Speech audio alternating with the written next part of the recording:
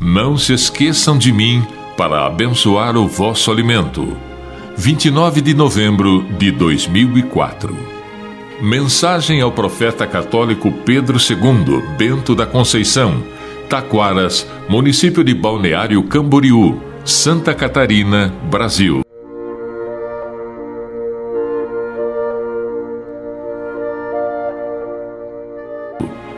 Bento, Divino Amor.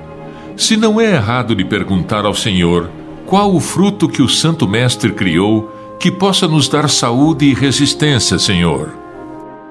No alimentar, tudo o que criei é para o vosso bem, porque depois que cada um foi feito, todos foram abençoados por mim, e nenhum tinha germe por dentro que viesse a se estragar.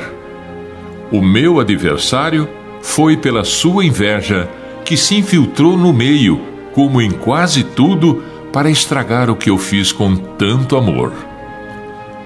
Meu filho Bento, onde é que queres chegar?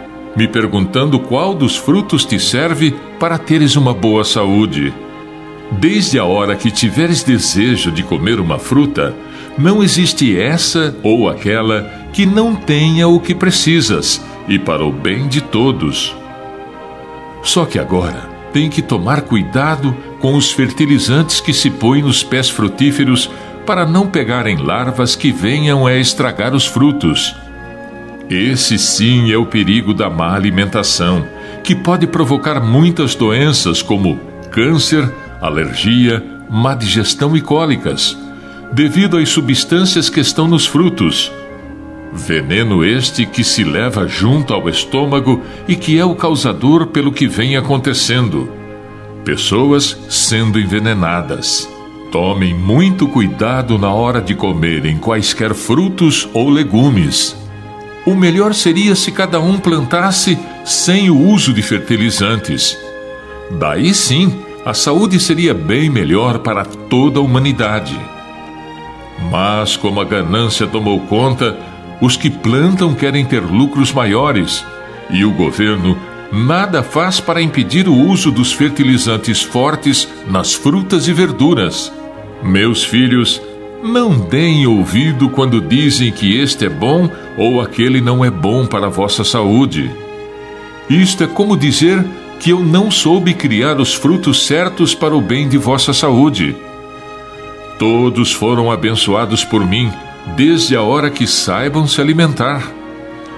Se for para serem cozidos, usem o tempo certo. E se é para levarem ao estômago as frutas, lavem-nas bem com água, sem usar detergente, porque a água já tem o que se precisa para lavar todo tipo de sujeira. O que ela produz, nenhum homem pode saber.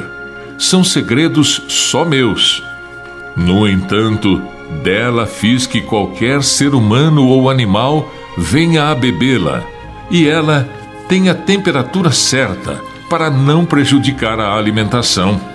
Fora disso, o homem procura se prejudicar como beber qualquer líquido muito gelado. Quando isto acontece, o próprio estômago recebe como que um choque que pode levar até a morte. E é isto o que o meu inimigo quer que morram mesmo antes de chegar o tempo. Meus filhos, a orientação daqui para frente é esta. Antes de se sentarem à mesa, não se esqueçam de mim para abençoar o vosso alimento, porque horas virão em que a maioria não terá mais o que comer, devido à contaminação que a terra vem recebendo e às pragas que invadirão pela terra inteira. Estejam sempre comigo, que vos garanto que, em tudo que vem acontecendo, virei dar um basta. Jesus. Gostou? Então preparamos um e-book com várias mensagens sem cortes para você ler e escutar. Deus e Nossa Senhora querem falar com você através destas mensagens. Clique agora no link abaixo e receba o nosso e-book com as mensagens. É gratuito. Meu muito obrigado e salve Maria!